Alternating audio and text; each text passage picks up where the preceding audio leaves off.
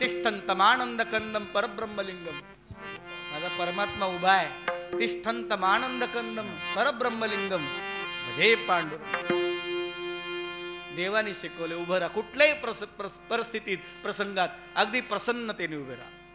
आनंदाने उभे राहा. आपल्याला कोणाचा अपमान करण्याचा अधिकार नाही. अधिकार नाही आहे. आणि कोणी अपमान केला तर पचवायची ताकद ठेवा. साहे अपराध जाना। साहे अपराध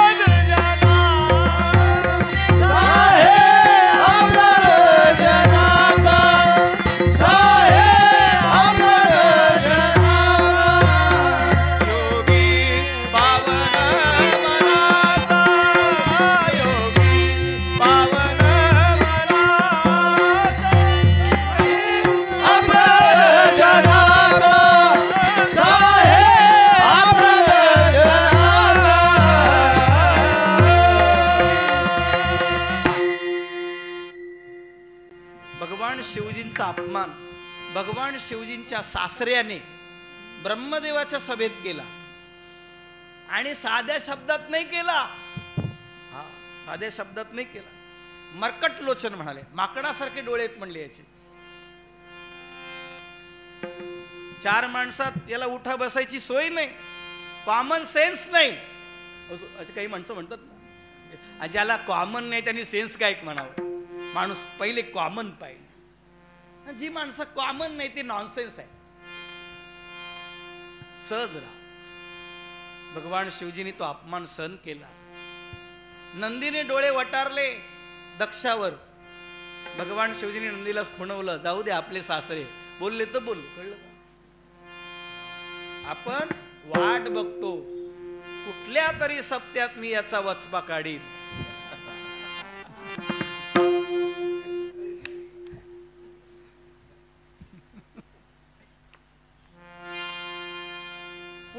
दक्षाने घरी सप्ता ठेवला कळलं का? महादेव त्या सप्त्याला गेलेच नाही. आमंत्रणच नव्हतं. पण गेले नाही. बरं गेले नाही याचं दुःख नाही. तेवढेच प्रसन्न. तेवढेच प्रसन्न. सहजता काय असते? अपमान पचवला. पत्नीने विचारलं का हो? आपल्या वडिलांकडे म्हणजे सासऱ्याकडे तुमच्या सासऱ्याकडे मोठा सप्ताह आहे. खूप लोक चालले. आपण नाही जायचं. महादेव म्हणाले आपल्याला आमंत्रण नाही. ते म्हणाले विसरले असतील. कळलं का? ही बाजू फार मजबूत असते.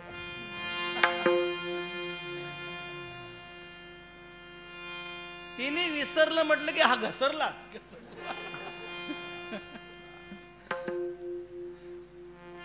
काय ताकद असते. म्हणून एक कवी म्हणतो हर कामयाब आदमी के पीछे एक औरत का हात होता है. हे कबूल आहे ना. मी कधी कधी गमतीने सांगतो काही बाया म्हणतात मी आहे म्हणून. कळलं का? मी कधीच गेले असं पण काही म्हणतात. माझ्यासारखी म्हणून राहिली असं पण म्हणतात. पण मग थोडी घटना दुरुस्ती करतात. तुमच्याकडे नाही पोरांकडे बघून राहिले.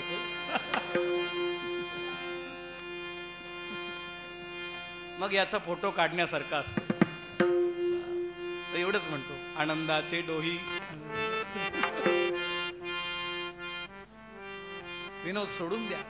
भगवान शिवजी सांगतात आपल्याला आमंत्रण नाहीये. तिने सांगितलं विसरले असतील. भगवान म्हणतात तू लहान मुलगी लाडकी आहे. सगळ्यात सुंदरी आहेस. त्रिभुवन सुंदरी आहेस. तुला कसं विसरतील?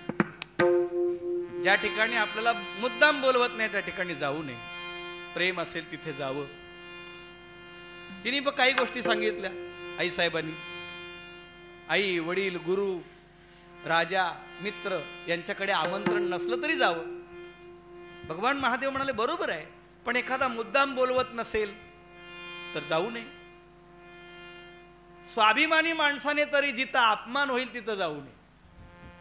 ज्याला अभिमान स्वाभिमान काहीच नाही सगळं गिळून बसलाय तो कुठल्याही पंक्तीत बसतो. काही माणसं कुठल्याही पंक्ती हे रे, आपलं बरं चाललं अरे काय? मी क्षमा मागून सांगतो नाही ठीक आहे थोडं तरी असावं. गमतीने सांगतो लोग शर्म से शर्माते है लोग शर्म से शर्माते हैं मगर हम इतनी बेशर्म है की शर्म हमसे शर्माती है. असे काही बेशर्म असतात कुठेही बसतात. आणि सत्यात म्हणतात आपण त्या भानगडीत नाही. म्हणजे पहा ज्याने ज्याने जीवनामध्ये महादेवाचा विरोध केला त्याचं काहीच राहत नाही. काहीच राहत ज्याने ज्याने ज्ञानदेवाचा विरोध केला त्याचही काहीच राहत तर ज्ञानोबर आहे सर्व सर्वांचं मन आहे. आणि पवित्र अंतःकरण म्हणजे ज्ञानोबर आहे. योगी पावन मन. साहे अपराध जनाचा. जगाचे अपराध. आणि काय दिले हो जगाला? जो जे वांशील तो ते लाहू. प्राणी जात. कुठलाही प्राणी असू दे हो, त्यांनी काही कल्पना करावी. नामदेव महाराज सांगतात जो जो दिवस उगवला तो तो ज्ञानदेवे सफल केला.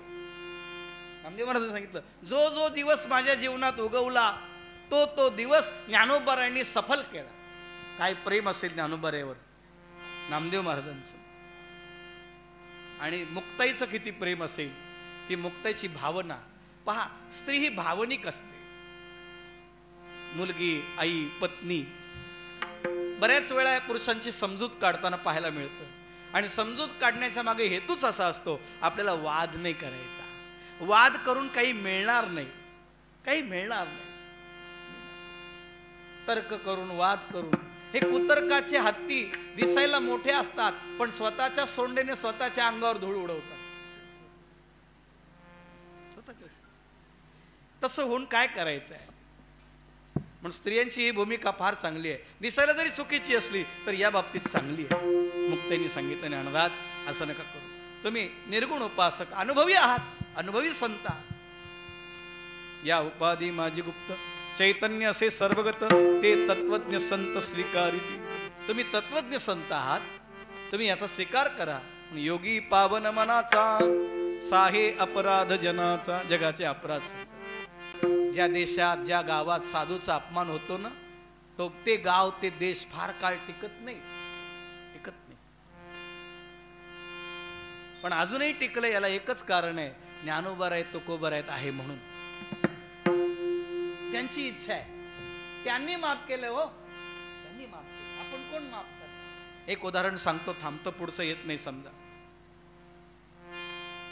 व्यासांचं एक अवतार जयदेव स्वामी. भक्तिविजयामध्ये चरित्र. जयदेव स्वामी. महात्मा होते संत होते. काही चोरांनी पाहिलं. साधू दिसतो. हातपाय तोडले एका भुई सपाट विहिरीत टाकून दिली. महात्मा होते. हातपाय तुटले तरी भजन चालूच होतं. भजन बंद नव्हतं. भजन फोटो हे मस्तक तुटो हे शरीर. नामाचा गजर सोडू नये. साता दिवसाचा जरी झाला उपवासी तरी कीर्तनासे टाकून. काय तो कोबऱ्याची भूमिका आहे? काय अवस्था एका राजाला शिकारीच्या निम निमित्ताने तिथे येणं झालं. त्यांनी पाहिलं विहिरीमध्ये एक साधू पडलाय. काही सैन्याच्या मदतीने त्यांना काढलं. कोरडी विहीर होती. आपल्या दरबारात नेलं. त्यांचे उपचार केले. आणि याही अवस्थेत भजन चालू आहे हे पाहून त्या राजाला आश्चर्य वाटलं. अहो आपल्याला देवाच्या दर्शनात अगरबत्तीचा चटका लागला तरी सण होत नाही. हातपाय तोडलेले असताना भजन चालू आहे. हातपाय तोडलेले. राजाने ठेवलं म्हणजे महाराज आता कुठं जाऊ नका? तुम्ही इथेच राहा. तुम्हाला हातपाय नाहीत. माझ्या दरबारात राहा मी तुमची घडेल ती जमेल ती सेवा करेन फक्त मला आशीर्वाद द्या. महात्म्याने भजन करावं. महात्म्याने एक सांगायचं राजा तू अन्नदान करत जा. अन्नदान. आणि अन्नछत्र चालू केलं. आणि अन्नछत्रात सुद्धा इच्छा भोजन ज्याला जे पाहिजे ते पदार्थ. समर्थाची पंक्ती भोजनी तळिल्या वरिल्या एकची पक्वानी. तर राजाचा दरबार त्यात त्यांना गुरुची आज्ञा जयदेव स्वामीची आज्ञा. पाहिजे तशा पंक्ती पाहिजे तसे लोक जेवण करू हेच चोर जेव्हा यांच्या लक्षात आलं की आपल्याला लॉकडाऊन लागलंय चोरी बंद केली. बिझनेस बदलला. साधू झाले. साधू वेश धारण करून फिरत फिरत याच राजाकडे आले. राजाने त्यांचे स्वागत तर केलं ते म्हणाले चला माझ्या गुरुजींच्या दर्शनाला जाऊ. राजाने त्यांना गुरुजींच्या दर्शनाला नेलं.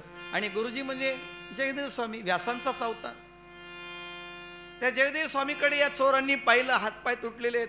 चोरांना लगेच लक्षात आलं. हेच बाबा आपण विहिरीत टाकले होते. पण जयदेव स्वामींनी राजाला सांगितलं राजा ऐक आजपर्यंत आपल्याकडे खूप लोक साधू येऊन गेले. खूप मोठे मोठे साधू येऊन गेले. पण हे जे चार साधू आहेत ना त्या सगळ्या साधूंपेक्षा वेगळे आहेत. त्यांचा विशेष सत्कार कर त्यांच्यावर विशेष लक्ष दे. काय हवं नको काळजीपूर्वक. आपण असतो तर काय केलं असतं? काही दिवस ती चोर राहिले. पण ते चोर आता काय ते चोराच्या मनात काहीतरी म्हणतात त्यांच्या लक्षात आलं की कधीतरी हा बाबा पेपर लीक करील. आणि आपल्याला राजा शिक्षा करील. दररोज सांगायचे राजाला राजा खूप दिवस तुझ्याकडे राहिलो. आता आम्ही साधूनी एका ठिकाणी जास्त दिवस राहिलं नाही पाहिजे. कोण म्हणतं? संधी साधू विठल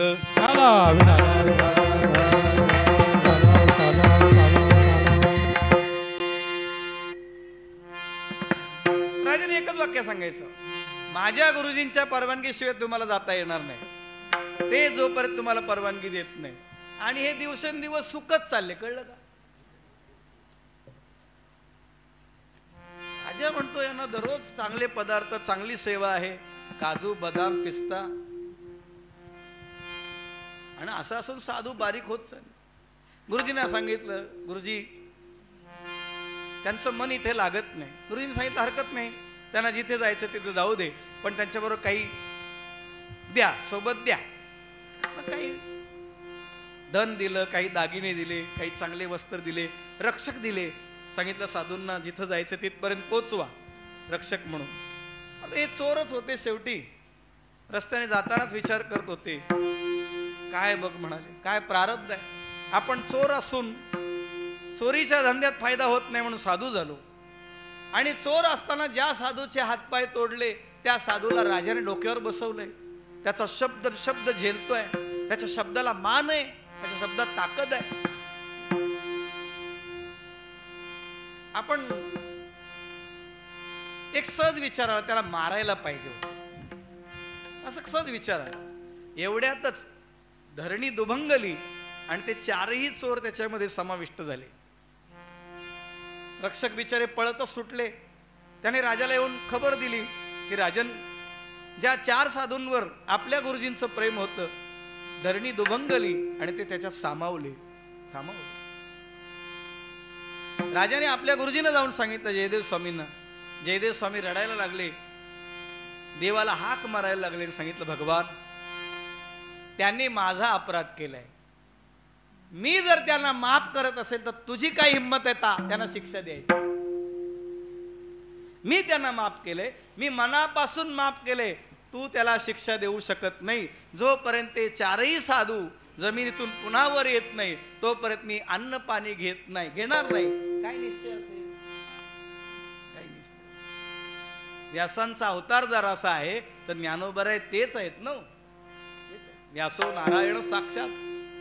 इंद्रायणीचे तटी धरिला रहिवास. विश्व ताराव या लक्ष्मी निवास. आपण पंढरीनाथ. वर्म जाणीतया तया सद्गुरुपदेश जय देव जय देव जय ज्ञानदेवा. जीवा शिवाचा आदि परब्रह्म ठेवा. जय देव जय देव जय ज्ञान ज्ञानोबा ज्ञानोबरांची आरती नामदेवरायांनी केलेली आहे. विश्वतारावया लक्ष्मी निवास. विश्वाचं कल्याण करण्यासाठी तारण्यासाठी तुमचा अवतार आहे. रडण्यासाठी नाही. म्हणून योगी पावन.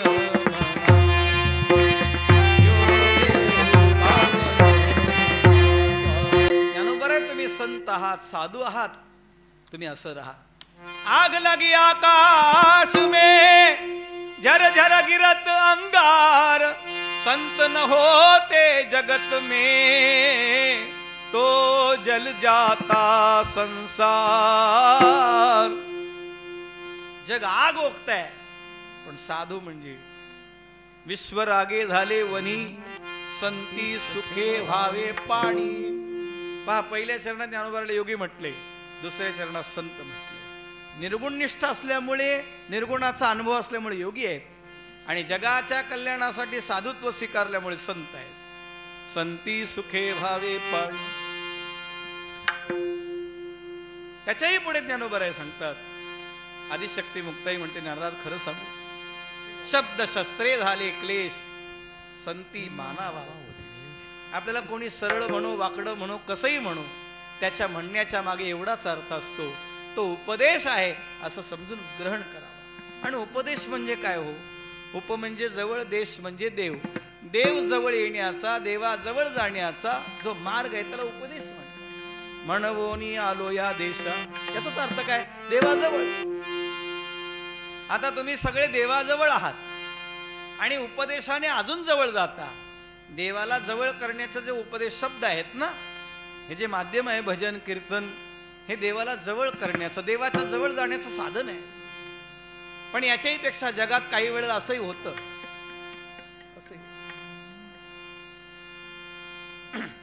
गोस्वामी तुळशीदासजी त्यांची पत्नी माहेरी गेली म्हणून तिच्यामागे धावत गेली. खूप पाऊस पडत होता. एक प्रेत वाहत चाललं होतं त्याला ओंडका समजून तिथे गेले. सासरी गेले पाऊस पडतोय समोरचं दार बंद होतं विजा कडकडतायत. आवाज होतोय आतमध्ये आवाज जाणार नाही. मागच्या बाजूने गेले. गॅलरीला एक अजगर लोंबला होता. त्यांना असं वाटलं माझ्या पत्नीने माझ्यासाठी दोर ठेवलाय. त्या अजगराला लटकून वर गेले. किती गेले. मागच्या बाजूने दार वाजवलं ती त्याच खोलीत होती बिचारी. तिने पाहिलं आवले चिंब झालेले पती पाहिले. थंडीने कुडकुडतायत पाहिले. पहिले बसवलं कसं आलात काय आलात विचारलं. तुझ्याशिवाय करमत नाही म्हणाले. तुझ्याशिवाय मी राहू शकत असं बरेच जण म्हणतात.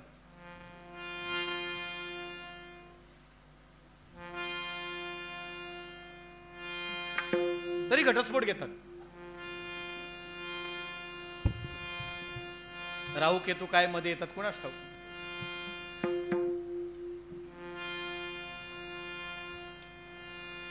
हे बघा ना काहीचं स्टेटस असतात. माय लाईफ लाईन मध्ये कुठं कट होते काय माहिती?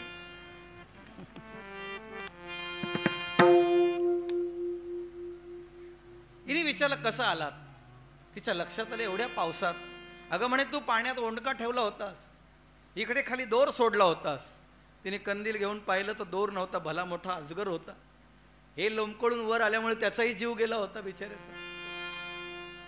पत्नी तिने सांगितलं का हो? हाडामासाच्या स्त्रीसाठी एवढं पावसात भिजत कुडकुडत आलात. हाडामासावर एवढं प्रेम करता. मी तर हाडामासाची आहे.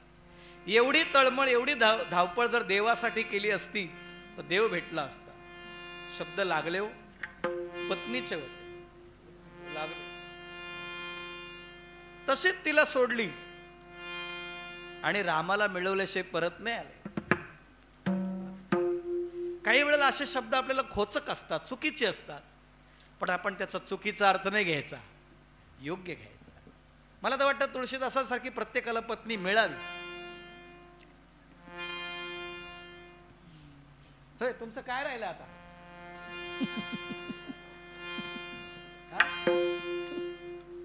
बसा ना मंदिरात येऊन. त्यांचंच नाही तुमचं पण काय राहिलं विचार करा ना. जे कोरोनातून वाचून आले त्यांना जर भजन करावं वाटत नाही तर ज्यांना झालाच नाही ते कसे रुबाबात असतील?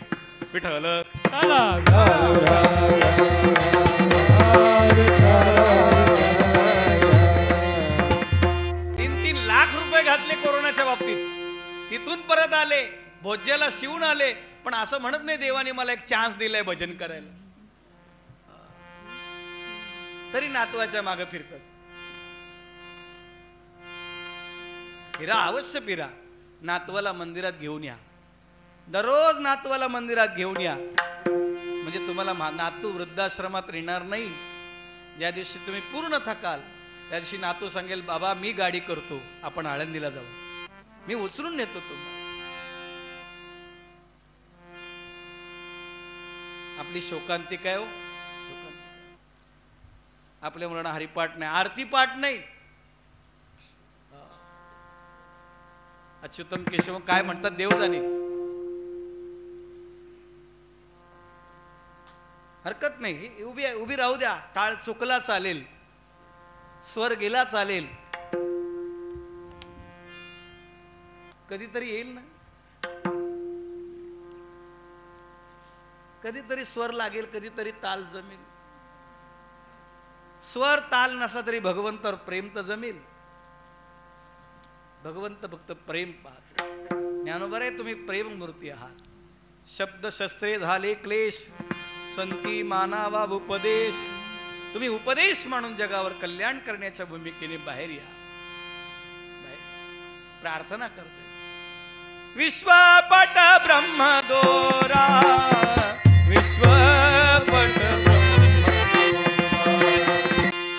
नाही सांगत कपडा म्हटलं विश्वपट म्हणजे कपडा.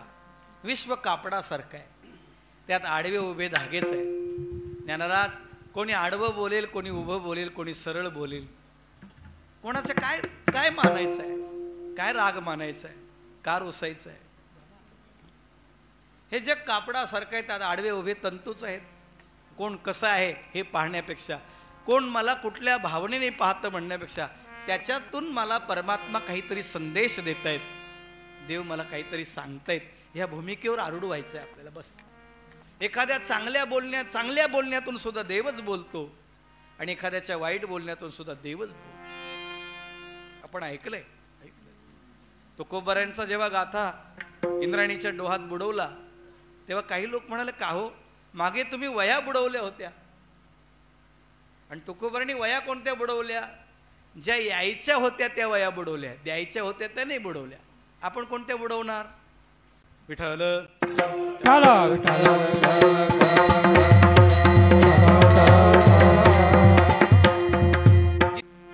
तुकोबरांनी यायच्या फायली जाळून टाकल्या द्यायच्या ठेवल्या. आता तुमचा गाथा बुडाला तुमच्या जगण्याला का अर्थ आहे? तुकोबर एक दोन नाही. पहिले पाच आणि नंतर तेरा असे अठरा दिवस निश्चक्र करून बसले. आणि केवळ देवाशी भांडू लागले. आतल्या आत मौन धारण केलं. डोळे मिटले. तर देवा तूच ज्ञानोबरायाच्या बरोबर स्वप्नात येऊन सांगितलं कवित्व कर. आणि आता तूच रामेश्वरांच्या मुखातून सांगितलं बुडव. मग हे एवढं कशासाठी केलंय? हा आठ तास कशासाठी केलंय? आपल्याला ज्या परमात्म्याने आयुष्य दिले जीवन दिले त्याचे आपल्यावर अनंत उपकार आहेत. आणि जर ते त्याच्या उपयोगाला जात नसेल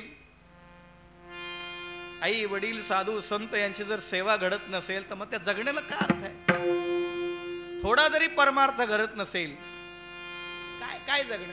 माझी या भक्तीविण जळवते जियाले पण आगा पृथ्वीवरी पाषाण नसती काही ज्ञानोबर आहे सांगतात माझ्या भक्ती शिवाय जे जगतात ते दगडासारखे आहेत ज्ञानोबर आहे म्हणतात. काय त्या दगडाची किंमत आहे? दगडाची काही किंमत नाही तशी त्या व्यक्तीची काही किंमत नाही ज्याच्या जीवनात भक्ती नाही प्रेम नाही. ठीक आहे. एखादा व्यक्ती मंदिराला दहा हजार देत असेल देऊ द्या. तुम्हाला नाही देता येत नका देऊ. त्याला अडवण्याचा प्रयत्न करू नका. सतरंजी उचलणाऱ्याला ते पण तेच पुण्य आहे. कीर्तन करण्याला पण तेच पुण्य आहे. काम लहान मोठं नाही करण्याची वृत्ती वृत्ती तसं. लोकांच्या बोलण्याचा अर्थ आपण चुकीचा घ्यायचा. त्यांनी चुकीचं बोलू दे. पण आपण चुकीचं नाही वागायचं. कारण जगात असा नियम आहे मोठी माणसं चुकली की बाकीचे लोक चुकतात. येत यद्यदा आचरती श्रेष्ठ तत्तत देवे तरुजना सत प्रमाण कुरते लोक सदन वर्त येथ वडील जे आचरती तया नाम धर्म ठेवीती. एर तीच अनुष्ठिती सामान्य सकळ जनवर आहे मोठे जसं वागतात मोठे जसं बोलतात तसं त्याचं अनुकरण समाज करतो. समाजाला तुम्ही गरजेचं आहात आवश्यक आहे. तुम्ही बोललं पाहिजे. साधू बोलला पाहिजे. आणि साधूच्या बोलण्यातून जगाचं कल्याण आहे. व्यवहारात लोक जर बोलले तर कधी कधी घरात फाटफूट पडते. पण साधूच्या बोलण्याने जग जोडलं जातं. हे विश्वची माझे घर. ऐसी मतीजयाची स्थिर किंबहुना चराचरा पडशी झाला. अवघाची संसार.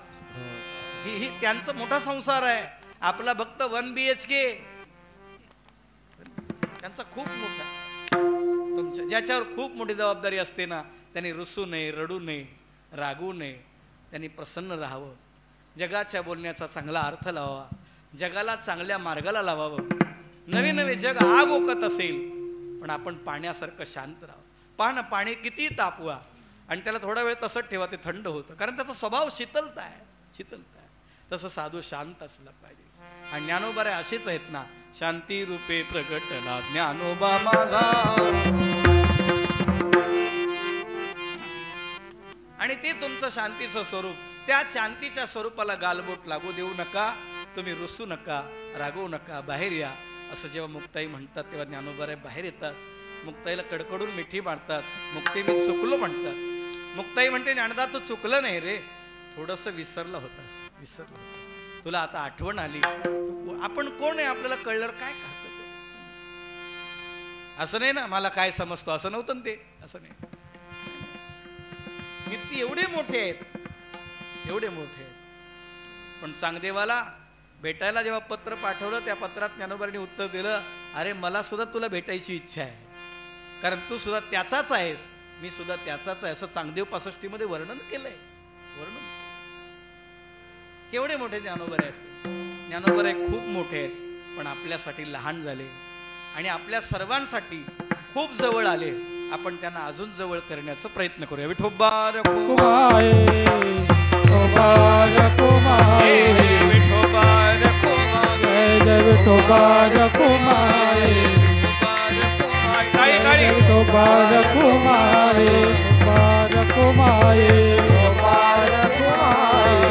बार कुमार बार कुमार बार कुमार बार कुमार को कुमार जय जल को बार कुमार जल को बार कुमार कुमार को बार कुमार को कुमार जल बार कुमार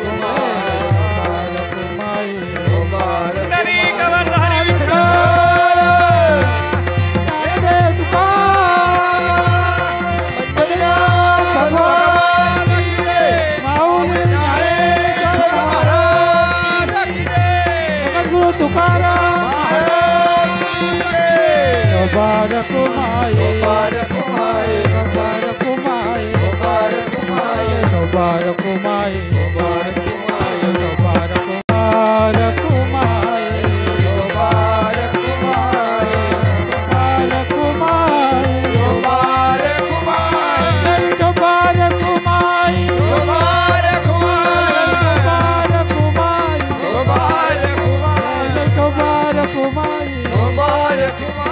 मुबारक माए मुबारक माए मुबारक माए मुबारक माए मुबारक माए मुबारक माए मुबारक माए मुबारक माए मुबारक माए जय मुबारक माए मुबारक माए मुबारक माए मुबारक माए मुबारक माए मुबारक माए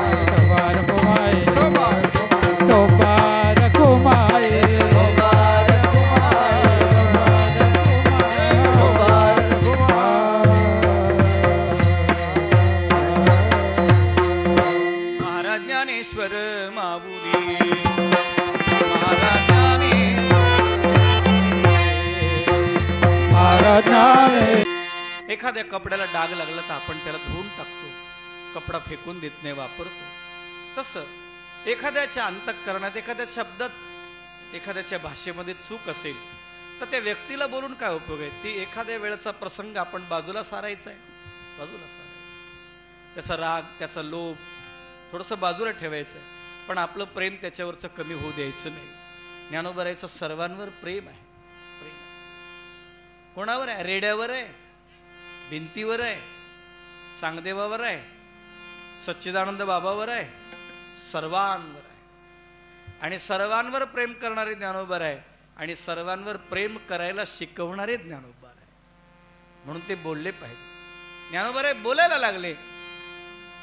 तर गीता निर्माण झाली ज्ञानेश्वरी तयार झाली अमृतानुभव तयार झाला. आणि समाधी अवस्थेत बसले तर त्यांचं भजन चालू होतं. ज्ञानदेवे घेतले दान हृदय धरून या ध्यान. समाधी बैसला निर्वाण बाबा बाळ छंद कथा कीर्तन करीतो. आज जे मी कधी कधी गमतीने सांगत असतो जगामध्ये जेवढे कीर्तनकार प्रवचनकार आहेत हे सगळे कथा कीर्तनकार प्रवचनकार स्वतः बोलत नाहीत. त्यांच्या मुखाने ज्ञानोबरे बोलतात. ज्ञानोबर. आता ते चुकीचं चांगलं बोलणं जगाने जसं घ्यावं तसं आहे. जसं गिराईक तशी वस्तू म्हटल्यासारखं तसं नाही. पण त्यांच्या बोलण्यात सुद्धा कुठेतरी अध्यात्माला स्पर्श आहे. जीवनाचं दर्शन आहे जीवनाचं दर्शन आहे. आपण आपल्या जीवनाचं दर्शन करावं. कोणाविषयी ज्ञानोबारांनी म्हटलंय आपण भुवई सुद्धा उचलली नाही पाहिजे.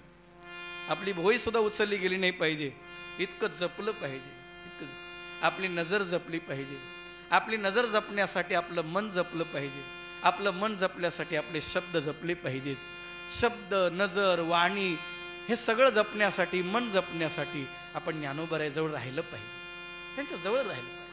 नाही आळंदीला जाता येत आंबाडीला ही व्यवस्था आहे. नाही तिथं जाता येत देवाऱ्यात ज्ञानोबरे आहेत हृदयात ज्ञानोबर आहेत. ज्ञानोबाला हृदयात पहा.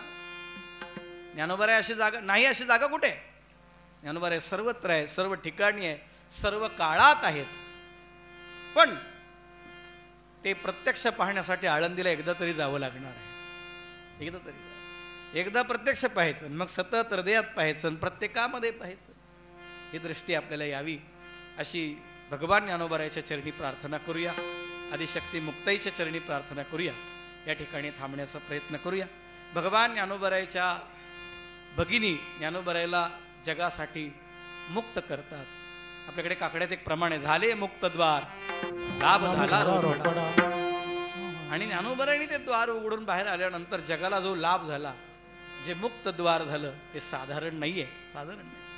हो पुस्तकं वाचून विद्वान होता येईल पण गीता गाथा ज्ञानेश्वरी भागवत वाचून आपल्याला भगवत दर्शन होईल.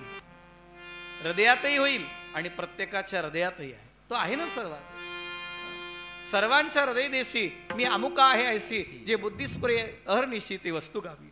अर्जुना मी नसे ऐसा कवण ठाव असे परी प्राणियाचे दैव कैसे न देखती माते. बरोबर आहे सगळं. मी नाही अशी जागा नाही रे पण मलाच पाहत नाहीत बाकी सगळं पाहतात ज्ञानोबर आहे आपल्याला पाहतायत. भगवत स्वरूप म्हणून पाहतायत.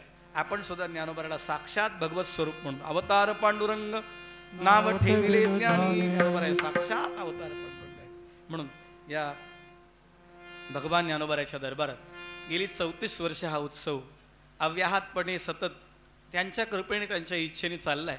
आपण फक्त निमित्त असतो. आपण आपली सेवा रुजू करायची असते. आजचं सौजन्य कैलासवासी प्रभाकर बाळकृष्ण पाटील यांच्या स्मरणार्थ श्री कमळाकर प्रभाकर पाटील झिडके यांच्यातर्फे ही सेवा आहे. आपणही त्यांना धन्यवाद देऊया.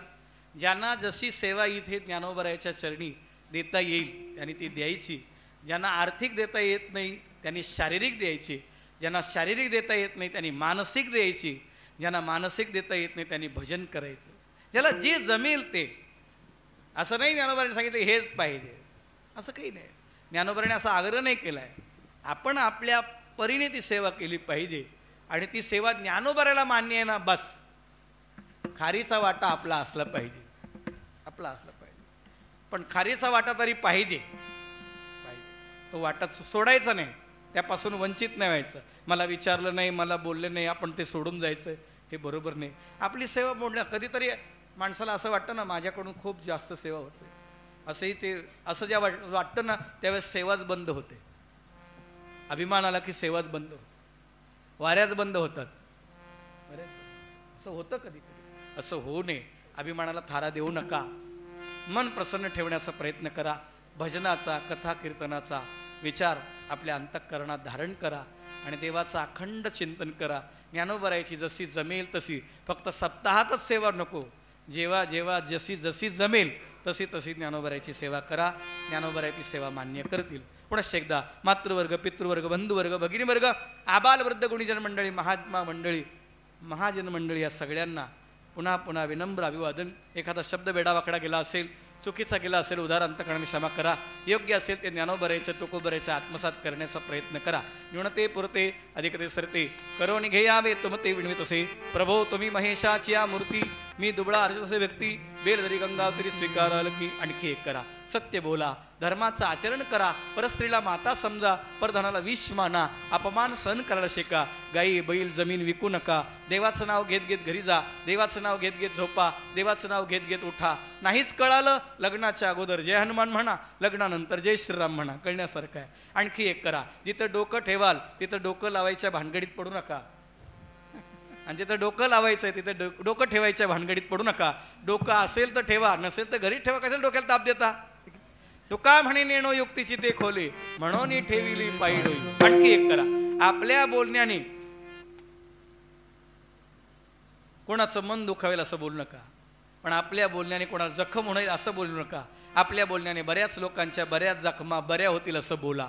बोलू ऐसे बोल जेणे बोले विठ्ठल बोले. आईचं बोलणं साधूचं बोलणं गुरुचं बोलणं सारखंच असतं. असलंच पाहिजे. बरं त्यांच्या रागाव रागावण्यात पण प्रेम आहे. आईच्या रागवण्यात पण प्रेम आहे. गुरुच्या रागवण्यात पण प्रेम आहे. माऊलीच्या रागवण्यात पण प्रेम असा विचार करा. आणि आपली सेवा मोडू नका. सेवा रुजू करा. जशी जमेल तशी जेव्हा जमेल तशी. पण ती सेवा रुजू करा. त्यांना सु समर्पित करा. समर्पित करा. काय नवाच्या वाचा बुद्ध्यात्मना मार्सत स्वभावात करोमी यद्य सकल परस्मे नारायणायेती समर्पयेत. सगळं त्यांना समर आहे ते सकळ कृष्णाचे अर्पण. न कळता मन दुजे भावी. म्हणून पुनश्च एकदा आपणा सर्वांना विनम्र अभिवादन करतो. प्रभो तुम्ही महेशाची मूर्ती मी दुबळा अर्जित असे भक्ती. देल तरी गंगावती तरी स्वीकाराल की. जय जय सद्गुरु ज्ञानेश्वरा. जय जय सद्गुरु करुणाकरा. जय जय सद्गुरु विश्वंभरा. मद चरणी दातारा नित्य ठेवा. आयुष्य करी उणे परी मजा वडो कीर्तन. नको जाऊ देऊ भंगा गात्रे माझी पांडुरंगा पांडुरंग. विठ्ठल जय जय. जय विठ्ठल जय जय.